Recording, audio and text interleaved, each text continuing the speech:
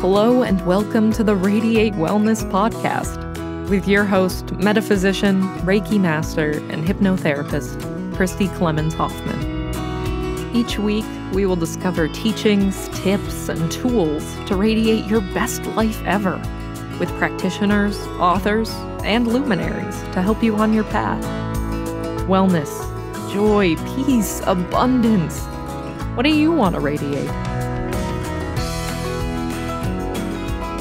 Hello, and welcome back to the Radiate Wellness Podcast. Today we radiate healing with Adam Scott Campbell from Colorado, who's had a very interesting story of healing of his own. Welcome, Adam. It's so good to have you. I'm glad this worked out. Yeah, Christi, me too. Thank you. Oh, absolutely. Now, you contacted me. Now, had you heard the Real Life Angel Encounters podcast? Just a, a one or two episodes. I just I wasn't I don't usually look listen to podcasts. You know, I was actually looking to share my story, and I figured podcasting might be a good way to um, to connect with someone who could get the story out there better than I could alone. You know. Oh yeah. Um, and that's you. So. um, and that's me. Well, well, sadly, I mean, you contacted me on the Real Life Angel Encounters uh, Gmail, which is Angel Encounters Podcast at gmail.com, because there are still listeners. Although I put that podcast to bed, but then your story was so compelling, I wanted to have you on this show because I think it's important.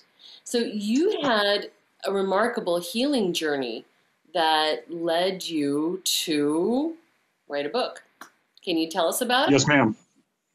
Yes, ma'am. Um, so I um, I have the book here, um, but um, anyway, I I went through a bunch of stuff, you know, and um, like we have the book here, but um, yeah, you know, the book is "Walking with My Angel" by yes. Scott Campbell, and we can get this on Amazon, correct?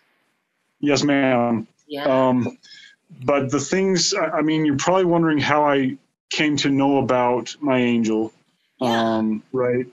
Mm-hmm. Um, so, so long story. Well, we can do long story short or short, but um, no, long story. I learned about my. Fine. okay. so after a bunch of stuff, we can go into this in a sec. But after a bunch of stuff that happened, I was at my end. Um, I was dying, and my my in long story short, I've I've had a lot of like I've had two brain tumors or a recurring brain tumor, I should say. Wow. Um, and so the age, from what I understand. Yes, I, I was nine the first time it happened. Um, wow. Was it cancer? Yeah. Um, they didn't know. Um, one doctor said it was cancerous. One doctor said it wasn't. Um, so they really don't know, and they took care of it as far as we know. It's, I don't have it now, so at least that takes care of the issue for now, right?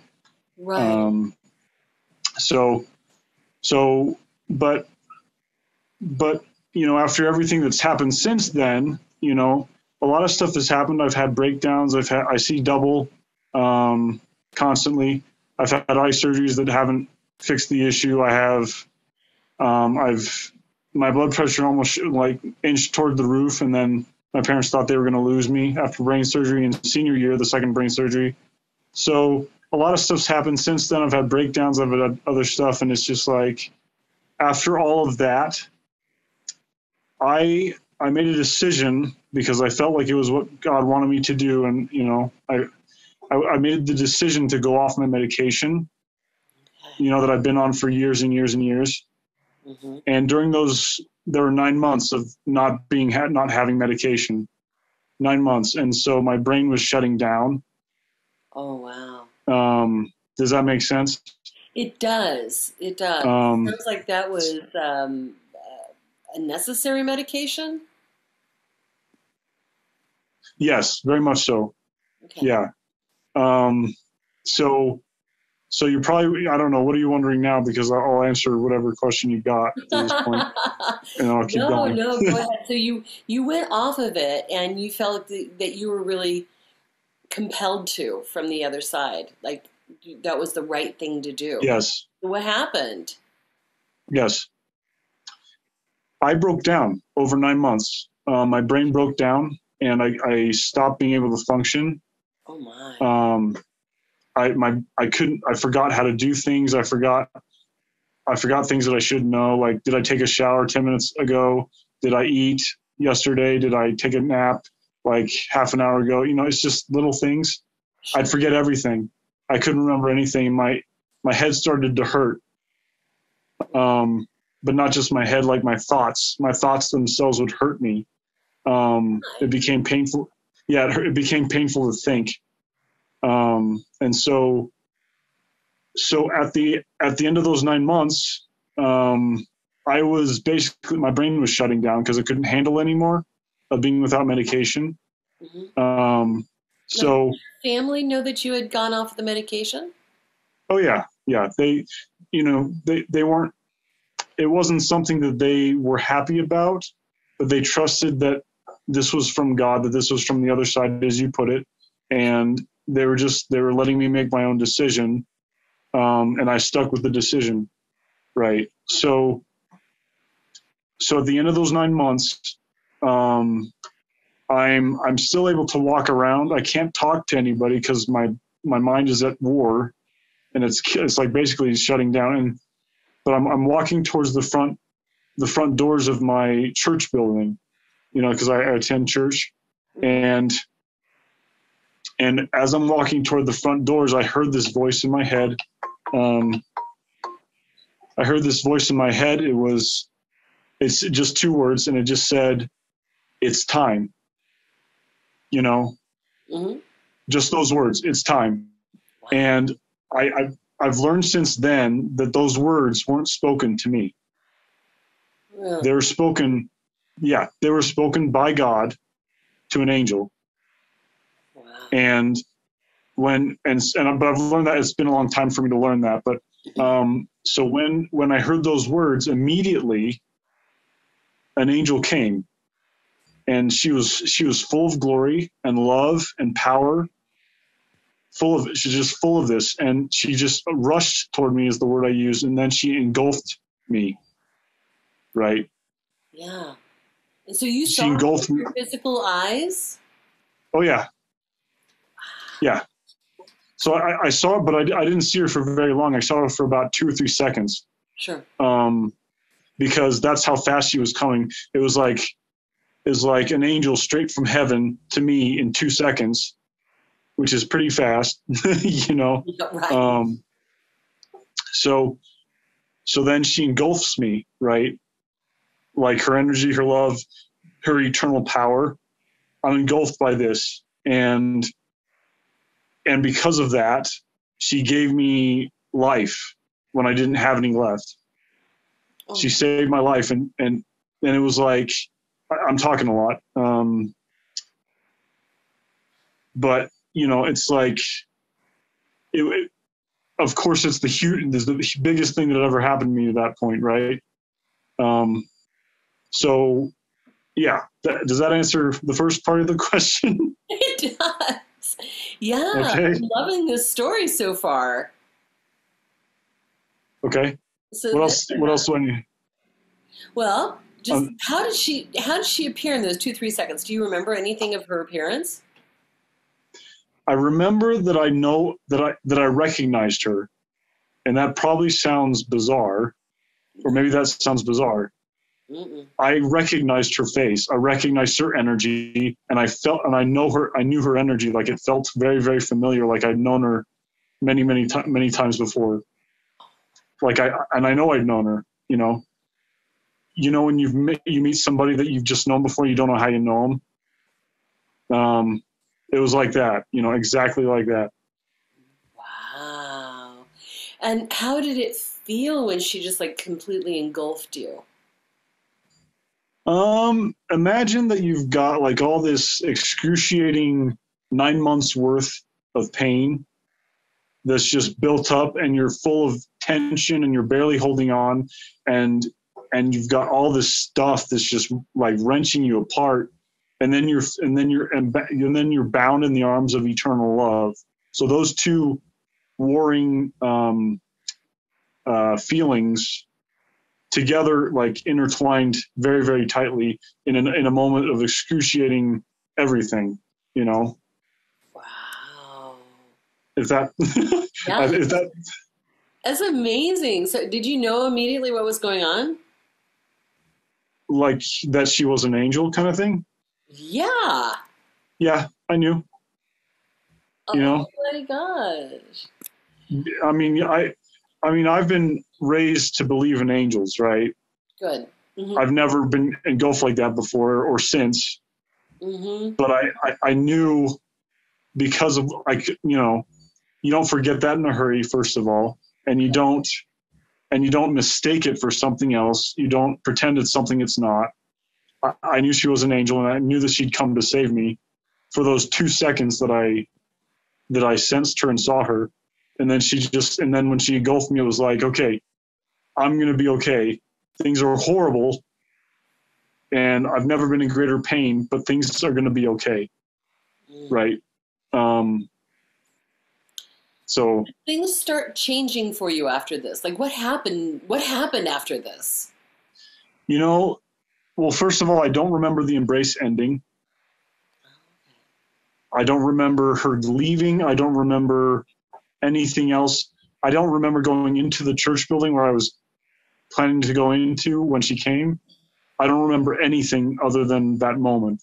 But I do remember that because it was soon after that, probably within the next week, week and a half, I was in the closed psychiatric hospital ward um, in here in Denver, um, one of the hospitals here, and um, and of course, knowing that she had saved me was like because you know I knew what eternal love was. I didn't want to be here anymore. I wanted to be with her in heaven because I felt like that's. I mean, I belong with her. Is that kind of thing? You know, it's the most. That's another. That's a different kind of wrenching pain. But it's like heart pain. You know, um, right? So, um, so it was just it was a struggle because I was just like trying to, um, trying to learn, relearn to function in a ment in a psych ward. After all this stuff had happened for nine months, and this angel saves me, and it's yeah, it's a lot. That's a long answer, you know. Wow. And obviously, you regained function after this period. How did that happen? slowly. It happened very, very slowly. Um, for example, I didn't. I tried holding jobs, you know, hmm and after after a while, because it took like probably a couple of years for me to come down enough that I could even think about holding a job. hmm I mean, I'd been embraced, I'd been touched by heaven, and so, so it's just like the next couple of years, I, I just relearned to function. I relearned to eat. I relearned to walk. I relearned to to talk to people. I relearned to to go do things with people, and it was hard because there was no desire, none, to do any of it. There was no desire to engage in anything. It's like it's like the everyday becomes so mundane that it's ridiculous, right? hmm Um, so um, it was just no. Go ahead. Go ahead. Did she did she make a, did she reappear? Did you have any other visitors come along while you were recovering? Um, she didn't reappear as she did when I when she came. You know, I've seen her since then, but it's not. I see her in my spirit's eye or my mind's eye, if that makes sense. Oh yeah. Hmm Um, so it's it's different. You know, it's a different thing. Right. Yeah. What type of what type of feeling or emotion do you get from her now? Comfort, love, but it's very gentle. I also get this feeling of sometimes I get this feeling of she longs for me. Um, and if you, you know, we don't, you know, Christi, we don't, we're, talking for the first time, but um, for most of my life, I haven't liked myself much. Um, because of the things that I've been through. I kind of saw myself as a freak, scarred, um, beat up, worthless, what have you. Um, so, so to have her manifesting her love to me in my mind's eye and, and like I can see her in my mind's eye holding me. I don't feel her physically, but I see her doing that. Mm-hmm. And I see her like with this love and this longing and this devotion that I don't understand fully. Yeah.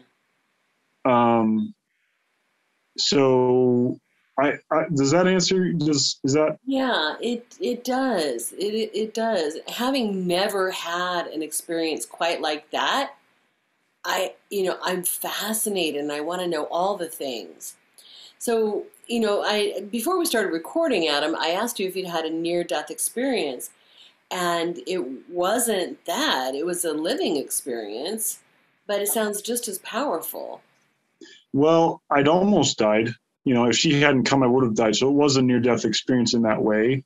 True. Right. Mm-hmm. So everyone that I know who's had a near death experience, and I've interviewed a lot on this show and on the other show as well, real life angel encounters, um, and they all say that it's a that's where that's where I want to be. I don't here in this body that has the pain. I don't want to be here. That's where I want to be. I want to be with my my people, my person, my I want to be there. Mm-hmm. And so why do you think that she didn't just take you then? I have more to do. There's more that I I'm I don't want to say assigned to do, but I'm, there's more. I have a mission. Like everybody on this earth has a mission specific to them. So my mission isn't done. Um, what do you feel your mission is? I don't know. I would guess that it has something to do with um, touching another heart, saving another life. Um, and it's not something that's done one and done. It's like something that needs to happen over and over and over and over again. Um, so basically, I'm here till God calls me home. And so, what are you doing to touch hearts? I'm, I mean, I'm a writer, I'm an author, and I just finished my, my I mean, obviously we talked about it, but um, right. my book, Walking with My Angel. Mm-hmm. Um, the the power that's in this book is tremendous, um, and I'm not. I'm, I, I, that's a really bold claim to to make, you know, and I, I get that. Um, but I also you know, know it's not entirely you too. Yeah, yeah. Um, but I also know that it it has the ability to bring light into people's minds, hearts, lives. Um, and the reason I think that it does that is because it's pure honesty. And it's pure honesty from the standpoint of I've been through a lot, so have you. Um, you know, and we, we can get through this together. You know, that's the message, really. Um, yeah. We all have this angelic support. Yes. You know, and that's the whole reason I started the Real Life Angel Encounters podcast in the first place. Is just the same mission to let everybody know that we're much more than we think we are, and we have infinite support from our angelic team. Mm-hmm. And you know, you're on a similar mission there. Now, yep. there's something interesting about this book, Walking with My Angel, that it's not like other books, is it? No, it's not. Your, uh, I mean, obviously, it's a book of poems, but how many? I mean, basically, it's a it's an unveiling of all my all my sacred things. Yeah. You know, mm-hmm. it's an unveiling of sacred things, and um, and while that's been done, I don't think it's ever been done in this way. I don't think there's I don't think there's a brain tumor survivor on this planet that wrote a book of poems about his angel. You know, like all the things that make it up. Like I don't think there's anything. I think you're right. You know, really. there's nothing like it. Well, first of all, it is a book of poetry. Yeah. Well, I've had, let's see, David Ditchfield has been on this podcast, and he wrote um, Shine On about his near death experience. Um, there's Susan Walter who's been on this show. She took her um, her experience and turned it into paintings and artwork. Um, but and there, there's Dr. Eben Alexander who wrote Proof of Heaven after his near death experience. But you know, all of this work is very um, not that yours is not factual, but it's like all narrative, right? So it's narrative. Mm-hmm. It's telling the story in a different way. And you, why why did you choose poetry? Poetry is a lot easier. Well, not not easier. Poetry is a lot more straightforward to to to pour my heart and soul into in a very time efficient fashion and maybe that sounds robotic, but it's like um, it's like if I can sit down um, for a half an hour, an hour, I can knock out one of these angel poems, but I pour everything that I have into it, you know, mm-hmm. and so it becomes a force that's created in half an hour, and so it's more powerful because you can read it in half an hour. You can read it in five minutes each poem, you know um, and so it's like it's like a it's like a, a like a, a sh- you know just a shot to the to the heart you know basically in two seconds or however long you know and uh, it's just it's powerful is what i'm trying to say did you know that radiate wellness is more than just a podcast that's right we're also a comprehensive holistic wellness practice Find out about our services, practitioners, and upcoming events at radiatewellnesscommunity.com. While you're there, visit our podcast page to read more about our great guests and even donate to the podcast. If you like our podcast, you can help in other ways as well, like subscribe or follow us wherever you're listening right now. Tell a friend, a family member, or a coworker about the great content you find here. And if you wouldn't mind, please give us a thumbs up, a five star rating, or a positive review. Sounds like a small thing, but it really helps. You might like to know about our Facebook communities while we're at it. We have a free community, the Radiate Wellness Community, on Facebook for news and great free content. Our subscribers group is Radiate U, as in the letter U, but also, well, you. There you'll find curated replays of past classes, guest interviews, and more. And now, back to our podcast and back to our guest. Absolutely. What's your process for um, writing these poems? Do you, you, connect with your angels first, or do you what? How do how do you approach? Like, how do you get these poems? Um, you know, I once had well, two answers to that. One, my uh, I just sit down and write. There's a there's a thread in my in my mind, is how I say it. Mm-hmm. Like, and I can feel that thread, and when it's like tinging, you know, this kind of twanging or whatever, there's like I, I just basically grab hold of that thread and start writing and stuff comes out it's like channeling my own whatever right so that's the first answer um, the second answer is that you know i, I had uh, a mentor an old mentor of mine um, tell me that i she, she'd read a lot of my poetry this was in, in college and she said you know adam you're you're a messenger is what she said. You're a messenger from those on the other side to those on this side. You're a conduit. You're a conduit for for the, of messages to, to those on this side.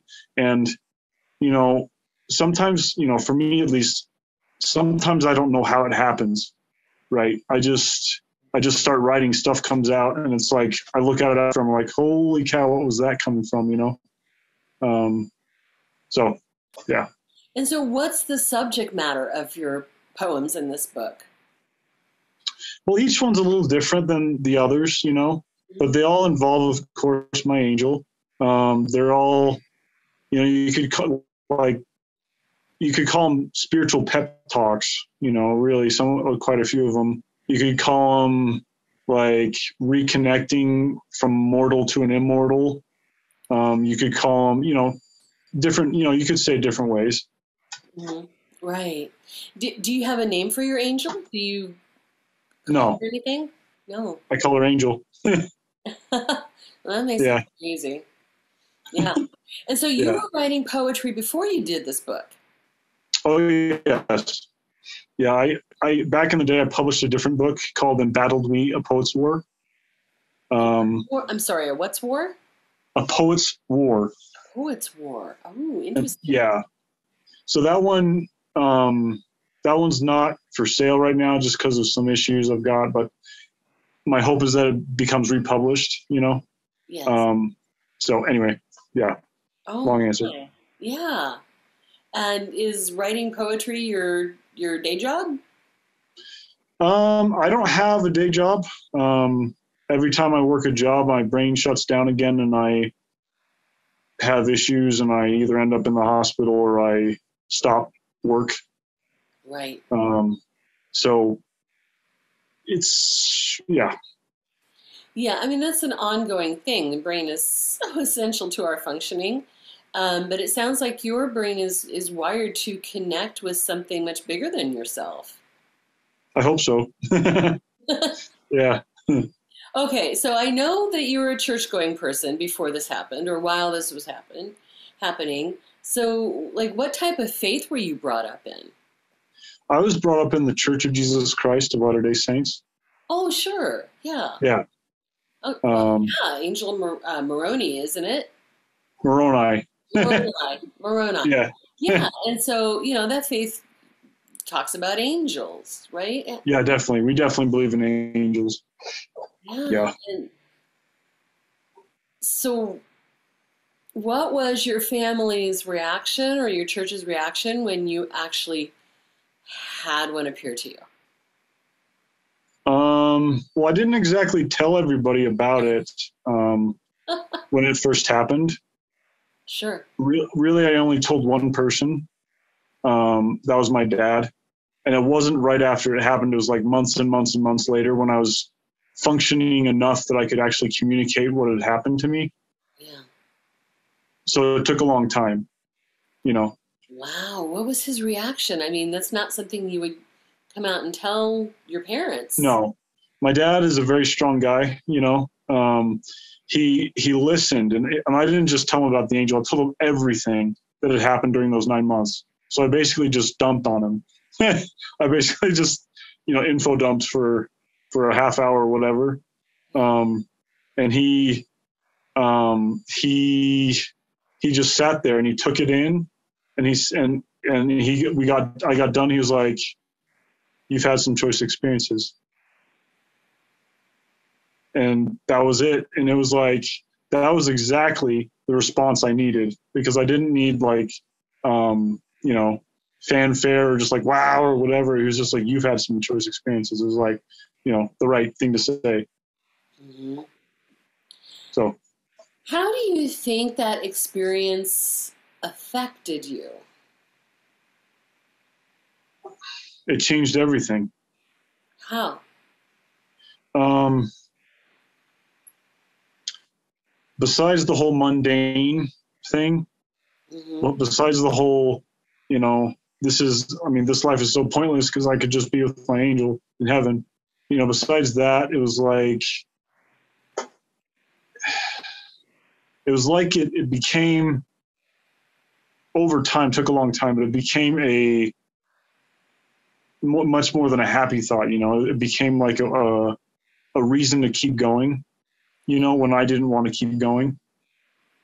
Yes. Um, in fact, when I had no motivation at all to keep going, it was like she's the reason I kept going. Um, it was, you know, if I can say so, it was excruciating. Um, that that heartache that I felt, you know. Right. Which again is is fairly known. I can't say it's common, but it's known among people who've had similar experiences.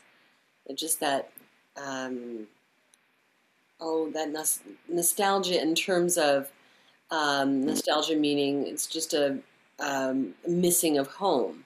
Yeah, pull. It's a pull. Mm-hmm. Right. Similar similar things were reported after seeing the movie Avatar. A lot of people saw that and thought, well, I, I don't belong here. I belong there. And it's similar yeah. pull. Yeah. Mm-hmm. Um, so after that, did your church recognize what happened and accept it? Well, it's not like, you know, I there's really there's only a relative few people, not the church, but people that I that I shared it with at first. And I mean, now that the book is out, I'm sharing it with everybody. But um, but no, I, I didn't share with too many people at, at the start. Right? Yeah. Yeah. Why not? it was sacred. It's still sacred, you know, it's sacred information. And also, you know, it's not just sacred in the usual way, like this is something I shouldn't share kind of thing. Mm-hmm. Yeah. My angel, um, my angel's love isn't something that I can share with anybody else. Right. I can tell them about it, and I can tell them how, and I can describe it, but it's totally inadequate, of course. Um, so, I I don't know if that I, that doesn't sound like it answered your question, but no, um, it does. I totally understand. I mean, it was very intensely sacred and personal to you. You mm-hmm. know, that type of thing you do keep close to the heart. You know, I teach Reiki for kids, and I tell them the the symbol that we use it's sacred we don't share it with anybody and that just drives them crazy they want to share it I, no it's mm-hmm. sacred mm-hmm. it means something really powerful we don't just go sharing it willy-nilly so i do honor that i, I respect that adam I, I honestly do that you would you would keep that to yourself at first right right so would you be willing to share some of your poems sure um, I'd love to hear them. Um, so I'm going to be looking down while I'm reading. Oh, absolutely. Okay. Um, so the first, I'm probably going to share the number one poem in the book. Mm-hmm. Okay, first I, I can show share other ones, but okay, this is this is um, of course about my angel and I. They're all about it, my angel and I. But This describes the whole story in a nutshell. This is called Eternity's Joy. Two angels of glory in heaven and in love clasped hands and spoke words far, far above. That someday, when God would, they would meet again, that they'd hold to each other through inferno, tempest, and quake to the end. One angel, by nature and by name, love, lived for mortality, pure like the dove, caring far deeper than others could care. Hurting, for caring makes one far more aware sharing her love, the love eternal, divine, the love that makes darkest hatred unwind. Doing the good that God would have her do, she saved lives, patching rifts with her wondrous heart glue. God Himself having placed in her His light, she drew others after her to fight for the right. And when another might falter on the way, she would encourage, embolden, and the right path they'd stay. Like the lighthouse that illuminates the path, she showed God's way to escaping God's wrath the way was to do always what God would have her do, no matter the weather he'd carry her through. And so she would be remade anew, a spiritual lighthouse, all dark to endue. When her mortality drew to a close, she returned to her king, to whom all who die go. And at some point her king called her and said, Your eternal companion languishes near dead. In the mortal realm where once you dwelt, he prays to survive the hand to him dealt. The path he was called upon, the anguish he's borne, Go, save him from whom all life is shorn. With scarce a reply, she sped from God's side, finding her love standing, yet all strength having died. On his last legs, life slipping away, she rushed to him, embraced him. Later, he'd say that an angel engulfed him, so great was her love. Such were his words of her sent from above. Her spirit, energy, love, and glory, allowed a spent mortal to add more to his story. But darkness and evil have since played their hand.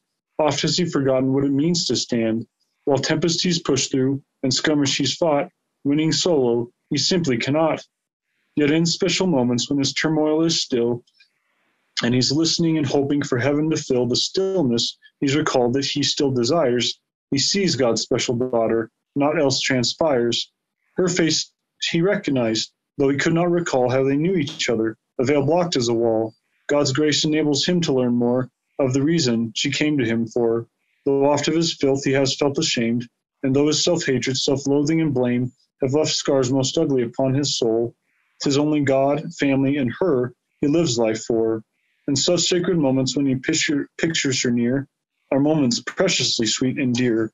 For such moments he eagerly yearns, pondering it grows easy to discern that all things he was sent forth to learn endurance, compassion, hope, and faith, charity, and all the rest are lessons required for they too to be blessed. For when their eternity they at last see, equal they must of necessity be. For such naught shall ever annoy, bound forever in eternity's joy. That's lovely. It really does tell your whole story. Thank you. Hers too. Hers too, in a way. Yeah. You know, she seems Sure. chosen to do this. hmm And her her story in that kind of reminds me of Michael, Archangel Michael. Really? Yeah, just her her battles and everything. So that was Yeah. interesting. Yeah. So, that, but this this all leads me to another question for you, Adam. Why you? Why do you think you were chosen for this experience? I've never thought about that, honestly. Oh, I just, you know, which is, you know, I should have thought about that maybe, but um, I think, uh, I think if I had to guess, I would say that, you know, we each have a vital role to play um, here on Earth in helping other people and whatever our role, specific role to each of us is. I think for me, um, I've always been blessed with the ability to um, to care. And while I think that caring about somebody is different than loving, just pure love, like my angel has and is possessed with and is filled with, you know, I think being able to care is something that I have strongly, and you know, and I think in order to this story or any story of worth, you have to care. You have to care not only about the story, you have to care about the people who might hear it, you know, and you have to care that they'll be helped maybe by it, right? Um, I think everything that I've been through is because was I, I went through and God put me through because I needed to become who I am in order to share the story that's inherent in the things that I've been through. Does that does that it does. It does. You needed to tell this story, so you needed to have the story, so that you Mhm. could experience the things. If, if I am understanding correctly. Yeah, yeah, for sure. So, what do you hope that your book, Walking with My Angel, does? I mean, what do you want to communicate with it? I hope that it touches a heart. I hope that it saves a life, and I hope that happens over and over and over and over and over again. You know, I hope it never stops. I hope there's always somebody who discovers it anew.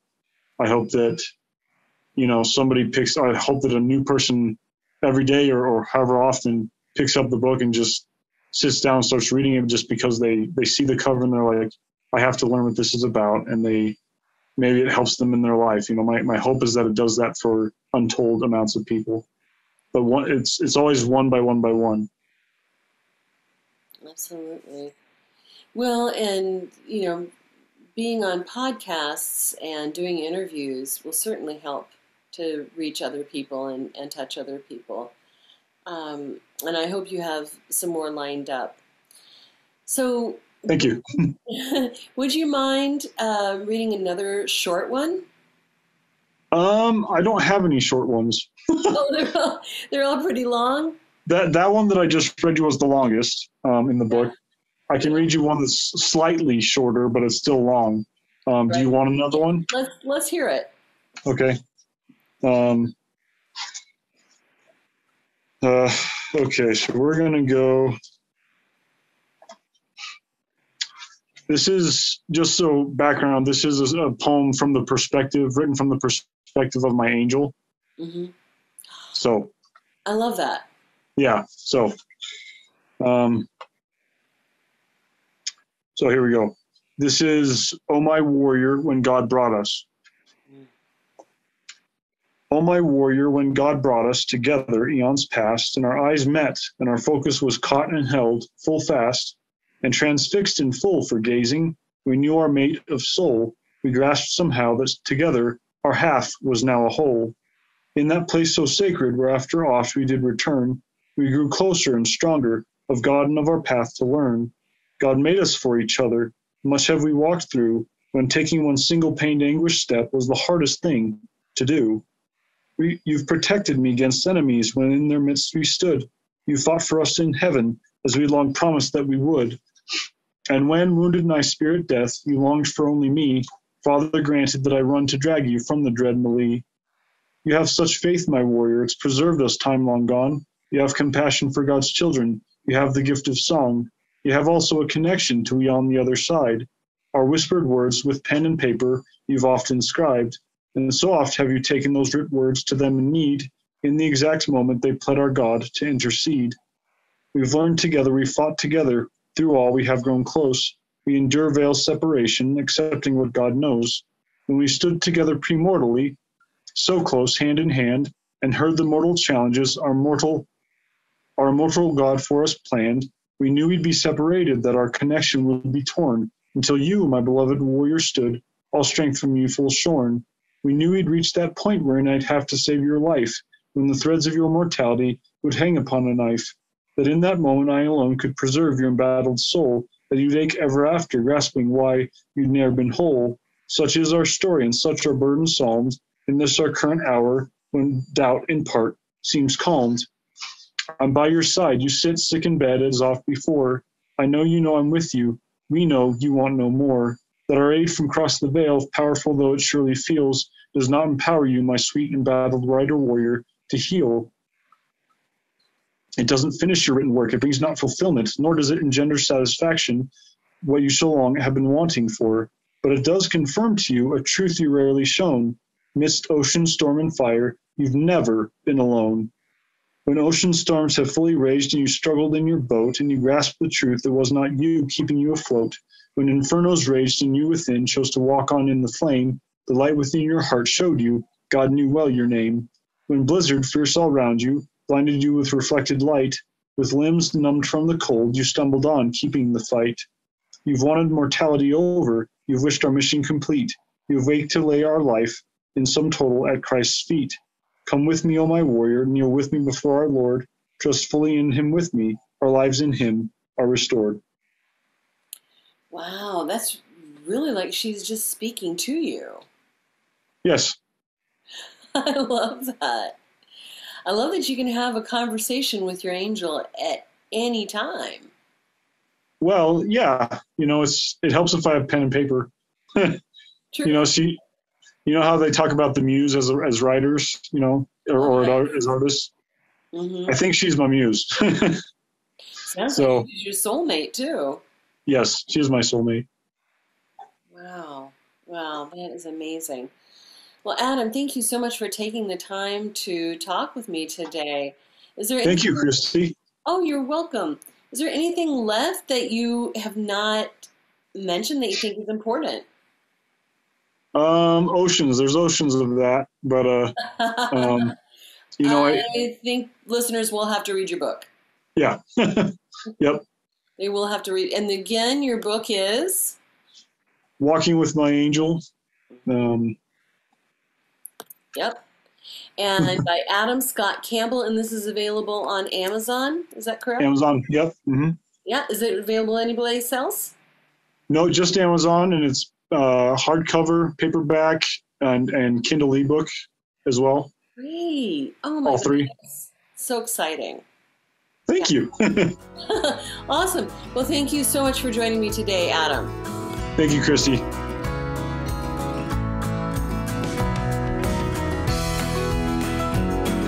Radiate Wellness is an international community of holistic and alternative healers dedicated to helping you create spiritual, energetic, and physical well being.